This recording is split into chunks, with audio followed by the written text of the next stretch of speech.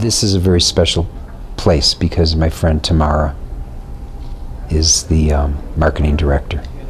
And so that changes the whole thing.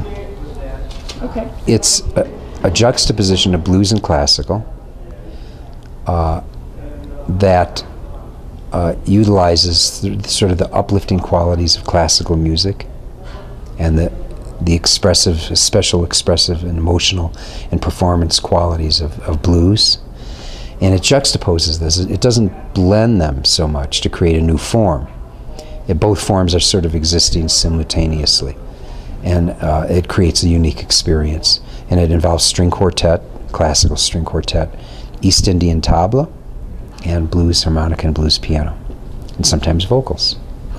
We have played in Breckenridge before. It was a while back. I don't remember exactly. When. I don't exactly remember when, but uh, things started looking real familiar. I know that Breckenridge uh, was a familiar name to me. You know, we just play a lot of places, and, and years go by and you forget and stuff. But not too too many years ago, we did.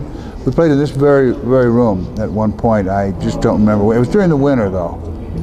Kind of a, a blending of uh, we have acoustic instruments that, uh, and, we, and uh, it starts out with kind of a folk music sound and, and added with a, a jazz uh, beat and uh, solos and singing.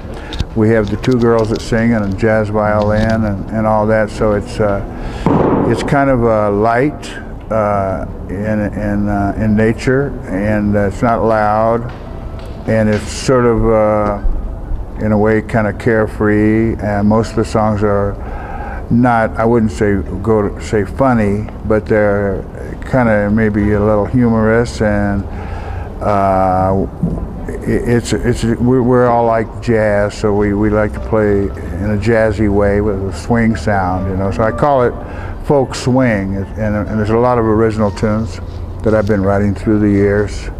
So that has a you know its personal touch on it.